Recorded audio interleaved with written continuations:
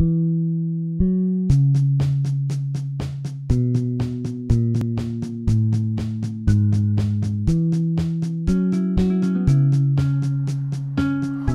back to B Squad Sport, Bonafide Blue Chip Report. Don't forget to visit besquadsport.com and besquadsportblogs.com for your latest in high school sports recruiting news.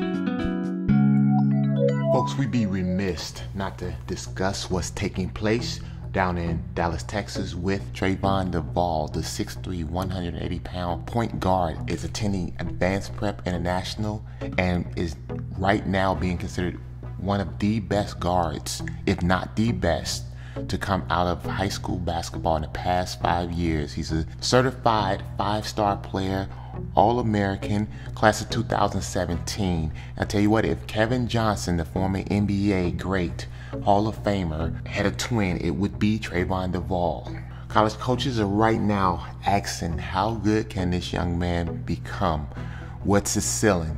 How high is his ceiling? And folks, if you've ever seen a high school player with NBA caliber talent, sometimes they seem raw. Sometimes they seem like they don't have the mindset that they need. And of course, a player has to grow, especially a guard. He has to become sort of a, a floor general, if you will.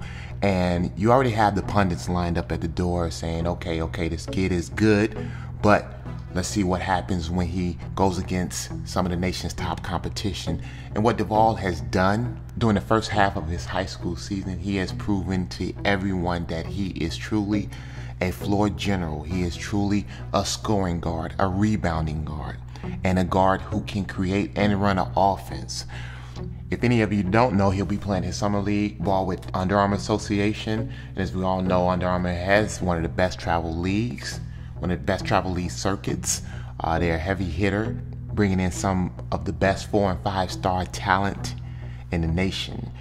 You know, the story on Duval is he was not on the map a year and a half ago as far as recruiting, as far as being a prospect. So it's kind of cinematic to see some of the past stories on guys who were in seventh and eighth grade and, and sometimes even freshmen being slated as the next LeBron James, next Kobe, the next Michael Jordan.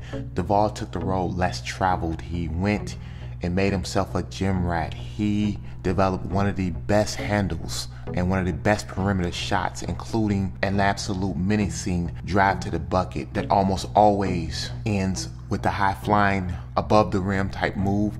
And right now, you have to consider Duval as that player in the class of 2017 that could easily be a one and done type.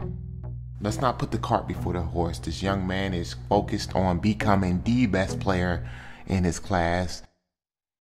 Tell you what, we'll definitely follow this five star talent throughout the recruiting process and during his summer league. As always, folks, stay tuned.